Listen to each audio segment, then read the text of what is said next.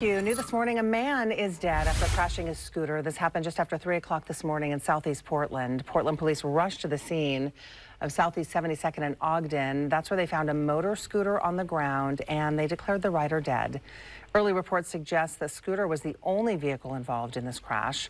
During the investigation, the major crash team closed Southeast 72nd Avenue between Bybee and Henderson.